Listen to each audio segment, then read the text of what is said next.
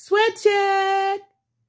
Good morning, good afternoon, good evening, or whatever time it may be, in whatever area you're in. This is the day that the Lord has made. I will rejoice and be glad. How about you? Have you gotten up, gotten out, and gotten active? I did. I just did my workout. It doesn't matter if you do 45 minutes or 10 minutes. Five minutes is great. And if you got to start off at one, I say get it done. I ask that you step, move, be about your own business.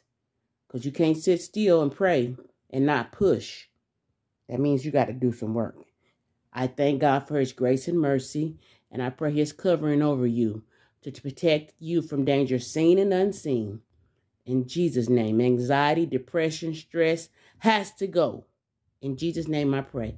Amen. God bless you. Back for a public servants announcement. Stay hydrated.